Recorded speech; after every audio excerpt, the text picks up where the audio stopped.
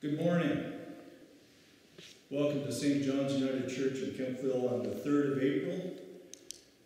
Another Sunday of COVID 19 quarantine. We do hope you're enjoying this video and the videos that have been produced of our services for the past eight weeks. We uh, want to draw your attention to the fact that yes, we are in quarantine still. So our anniversary celebration this weekend has been canceled, of course. The anniversary service is here now. And the uh, variety show on Saturday night, of course, is not going to be happening. Most unfortunate.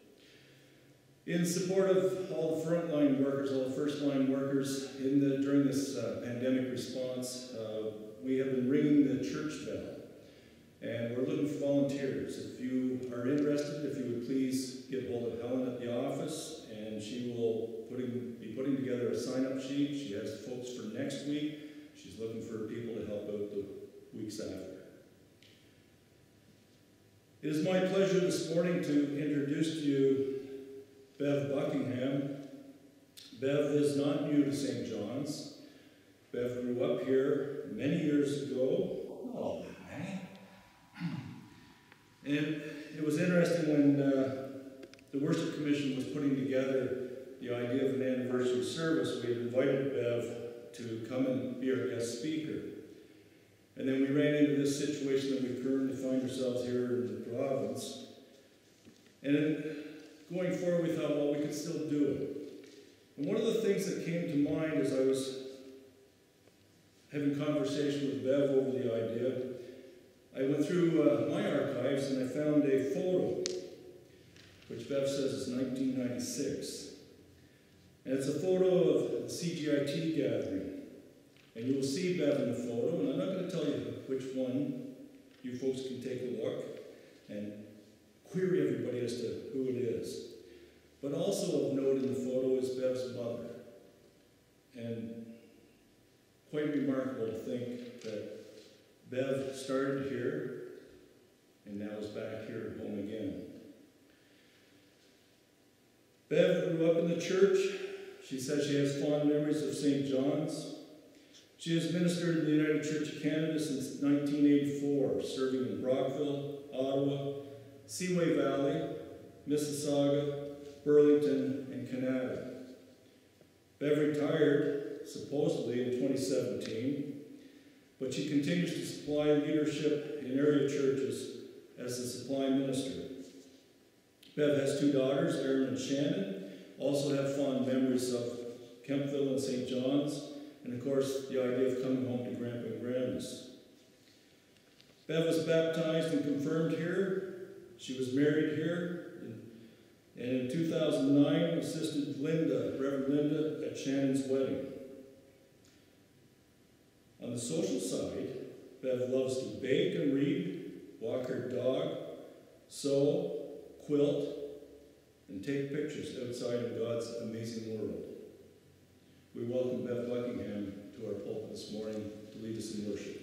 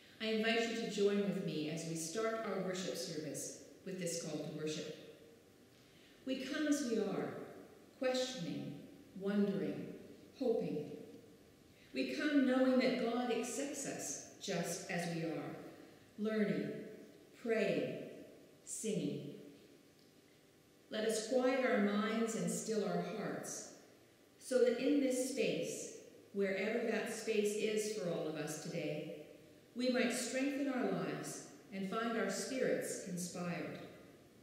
May we feel the Spirit of God here amongst us today and always. Amen. Let us pray. Creator God, on this anniversary Sunday, help us remember that you have called each of us to membership in this place. You have called us to be a community of faith. In our struggles, hold us together. In our celebrating, be our joy. In our serving, may we do so abundantly in the name of Jesus, our shepherd and guide. In the midst of our fears and failures, our loneliness and despair, wrap us in the warmth of your redeeming love and remind us that we are yours, the sheep of your pasture. Amen. Let us join together in the singing of He Leadeth Me, found in Voices United 657.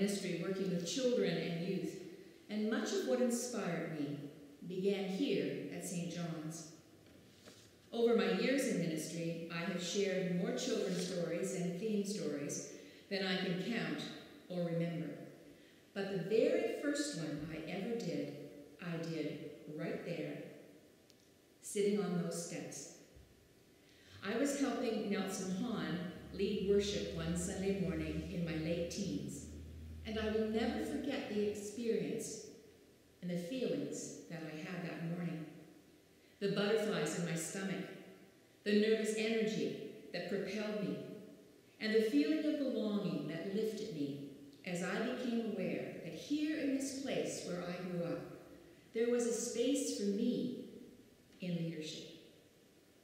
It was a lesson that has stayed with me all of these years, and it helped form how I have dealt with, young, with the youngest members of the churches that I have served. I have always appreciated the ideas that flow so freely from our children and the ease with which they take on a project and run with it. I have been very aware of that here on the Sundays that I have been able to worship with you. You children out there worshiping with us this morning are amazing. So I'd like to take a moment and talk directly to you. I brought a book with me. This was made by the children of my church in Burlington. It was created in 2009. It is entitled Dear God Letters. It all came about from a conversation I had with a young man of eight. Mason wanted to talk about prayer. And he wondered if he was to ask the congregation to write letters because that's what he thought. He thought that talking to God in prayer was like writing a letter to God. And he wondered if he asked the congregation if they were to write their letters, first of all, would they? And then, could we put it into a book? Well, we asked the congregation, and they did. And we produced a book. Here are a couple of the prayers written inside. Dear God, help me to remember to be grateful for the many blessings in my life. Help me to look around this miraculous world with joyful and appreciative eyes, and please show me ways to use my gifts to bring health and peace to the world near where I live and far, far away. Dear God, thank you for bestowing such beauty and wealth of resources to our country, Canada. Give courage and hope to those who struggle for one reason or another. Dear God, please help others to see the light that is your love. Dear God, please allow the love in the world to overcome hatred. Those words are as meaningful today as they were in 2009 when they were written. And I wondered if this could be something that you might like to spearhead here during this time apart. You could ask the congregation to send you pictures of what they're doing these days while dealing with COVID 19, and you could ask them to send you their prayers. Dear God letters that they would like to share with the rest of the congregation. I'm sure that one or two of your teachers from church school would help if you ask, and there are lots of great sites to put a book together. If you decide to try this, please let me know. I'd love to see what you make. The scriptures this morning begin with Psalm 23. The Lord is my shepherd, I shall not want. He maketh me to lie down in green pastures. He leadeth me beside the still waters. He restoreth my soul. He leadeth me in the paths of righteousness for his name's sake. Yea, though I walk through the valley of the shadow of death, I will fear no evil, for thou art with me. Thy rod and thy staff, they comfort me. Thou preparest a table before me in the presence of my enemies. Thou anointest my head with oil. My cup runneth over. Surely goodness and mercy shall follow me all the days of my life, and I will dwell in the house of the Lord forever. We go on to hear about a shepherd again in John 10, reading 1 to 10. Let me set this before you as plainly as I can. If a person climbs over or through the fence of a sheep pen instead of going through the gate, you know he is up to no good, a sheep rustler. The shepherd walks right up to the gate. The gatekeeper opens the gate to him, and the sheep recognize his voice. He calls his own sheep by name, and he leads them out. When he gets them all out, he leads them and they follow, because they are familiar with his voice. They won't follow a stranger's voice, but will scatter, because they aren't used to the sound of it. Jesus told this simple story, but they had no idea what he was talking about. So he tried again. I'll be explicit then. I am the gate for the sheep. All those others are up to no good, sheep stealers, every one of them. But the sheep didn't listen to them. I am the gate. Anyone who goes through me will be cared for, will freely go in and out and find pasture. A thief is only there to steal and kill and destroy. I come so that we can have real and eternal life, more and better life than we ever dreamed of. Thanks be to God for these scripture passages. This morning's anthem is just a closer walk with thee, and we offer a special thanks to Larry Wesley and to Lise Robinson and to Jean-Jacques Rousseau.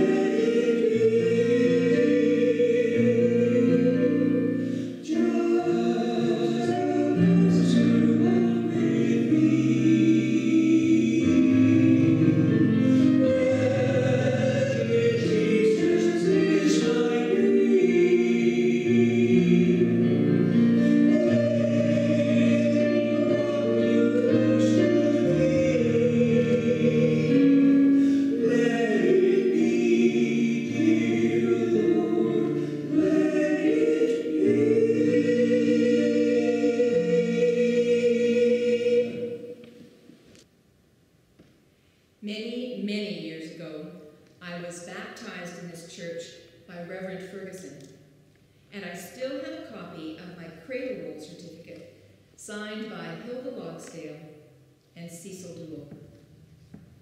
I enjoyed Sunday school here back in the days when the downstairs was filled to overflowing with children, and Reverend Corkum was our minister. I was a member of CGIT, as Ron said, and Hi-C, and was confirmed by Reverend Percival after taking weekly classes in his study, a study that doesn't look all that different today. I remember when the addition was built and how excited and proud my senior class was to be able to have our Sunday morning classes in the new upper room. I went to UCW meetings with my mom, and when I got older, I served alongside of her at the catered meals they provided. As an older teen, I was asked to serve on the search committee that called Reverend Eric Reed. And I have to tell you that this was something that happened, that was not something that happened regularly. You, as a church, were years ahead of the curve in including and encouraging young people to take on leadership roles. All of these moments, all of the wonderful people involved here, were gateways in my faith journey. When I started preparing something to share on this anniversary Sunday, I found myself looking back on those days that I spent here as a child and teenager and I lost myself in wonderful memories. This is a church that opens doors or gates for people of all ages, for people who are seeking and searching, as well as for people who are certain of their next steps, confident in their beliefs, and able to articulate their faith. This is a church that opens doors or gates to follow Jesus, inviting all who enter to come and be part, to come and be followers of the way. Following Jesus, being people of the way, means not knowing what comes next, not knowing what unexpected gateways might open up, but having the faith that you are not alone on the journey. As a child growing up in the country, I often walked the fields. When I was upset or angry, worried or sad, and when I was truly excited about things. I was a solitary child, and I think in many ways, and I couldn't always find the words to express my feelings in the midst of the people around me. Instead, I spoke them out loud as I walked. When I was about nine, I was sitting on a large granite rock in the middle of a fence row on our farm just outside of town, trying to work out where I fit into the world. It was then that I realized that the unspoken presence that heard the outpouring of my heart was God. More than that, I was overcome with this sense of calm, and I knew that God had a purpose for me if I just let myself be open to the possibility. That God would guide my feet and lead me through unexpected future gateways. I somehow knew that this was more than just the God of my Sunday school lessons. This was my God, the one who loved me and called me by name. And I knew that I would follow this God through whatever gateways opened up for me. Those gateways led me eventually into paid accountable ministry and, and an unquenchable thirst to know more, learn more, experience more, feel more, and love more in the service of Jesus. As a small child, one of my Sunday school teachers was Elsie Van Allen. I remember her as a warm and caring woman who always made you feel welcome, always remembered your name, even if she met you out in the real world. When I graduated from her class, she gave me a small cardboard plaque with the words, The Lord is my shepherd on it. It hung on the mirror of my dresser all of my growing up years, and I still have it tucked away amongst my treasures. I remember learning the lesson of the 23rd Psalm in different classes over my years here, and how different people explained it. I also remember learning it as memory work. Now that dates me, doesn't it? It's been years since we have done that sort of thing with our children. I'm not sure whether it was that little plaque that I saw every day, or the many, many ways we would have studied the passage, but it is one that is not only written in my memory, but also written on my heart. The words of the 23rd Psalm offer comfort as they speak of a God who loves you so much that you need not be afraid, who loves you so much that you are never alone, a God who leads you through the pathways and the gateways of life. Marcus Borg once wrote that God was like a large ball with windows, and that our view of God is through one of them. As Christians, we see God through the window of Jesus. We follow the way Jesus leads. Jesus is our gateway. When I read the scripture lessons this morning, I read the first one, the 23rd Psalm, from the King James translation, the one I memorized as a child. I have read and taught it in many different versions through the years, but nothing brings me as much comfort as hearing the lyrical poetry of this translation.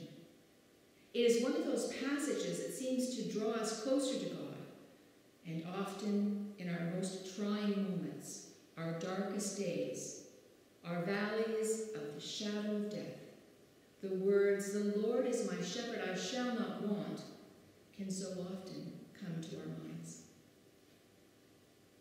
In the John passage, Jesus lets us in on who he is, who he can be. I read it from the message because I like the simpler, plainer explanation found there. Maybe it is because for many years I wrote curriculum for church school and using language that is closer to words children speak today makes it more inviting for them to talk about what the passage means to them and says to them.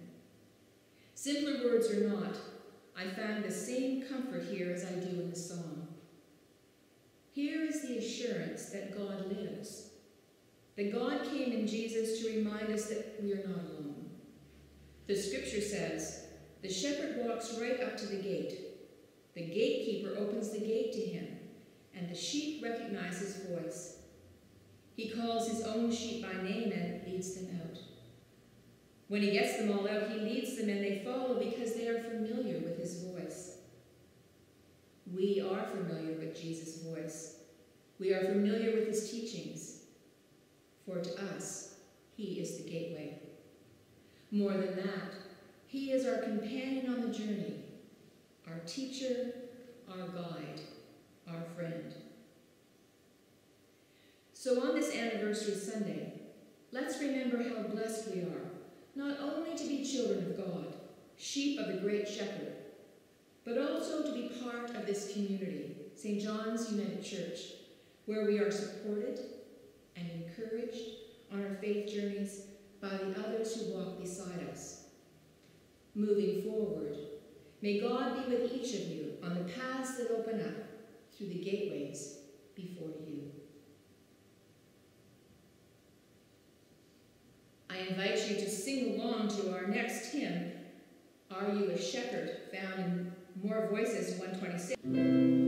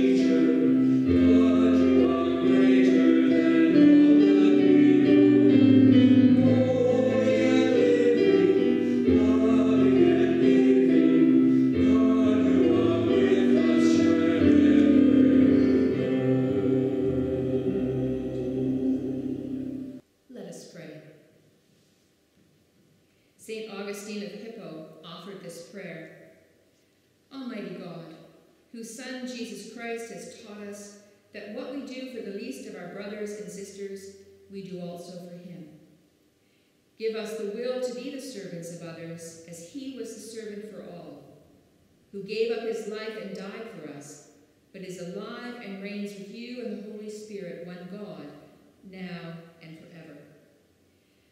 Today we add to that prayers of our own as we struggle to make sense of the things happening in the world. We pray for the strength to, excuse me, we pray for the strength to continue our walk with Christ on the path laid out before us. We pray for guidance and insight as we look for ways to serve others in our community. No offer of help is too small. No small deed goes unaccepted.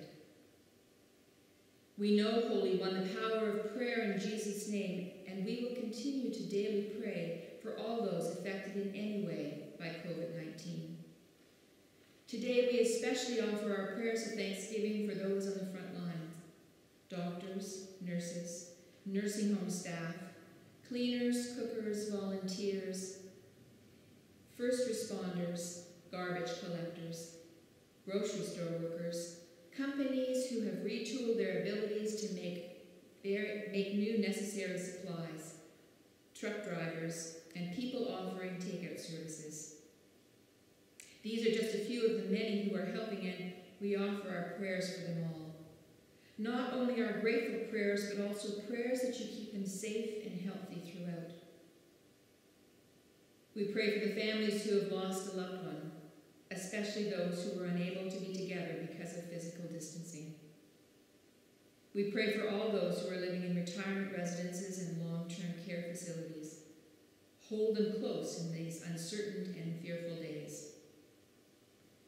Our prayers become our actions as we continue to walk through these trying times. Be with us, Holy God, so that we may be kinder, softer in our approach, more understanding and more willing to share the road with others, even at a distance. All of this we pray in the name of the one with whom we walk. We bring ourselves and our prayers to you as we say, Our Father, who art in heaven, hallowed be thy name. Thy kingdom come, thy will be done on earth as it is in heaven. Give us this day our daily bread, and forgive us our trespasses as we forgive those that trespass against us. Lead us not into temptation, but deliver us from evil. For thine is the kingdom, and the power, and the glory, forever and ever. Amen. Let's look at the words on the screen and join together in the singing of our last hymn, All the Way My Savior Leads Me, found in Voices United 635.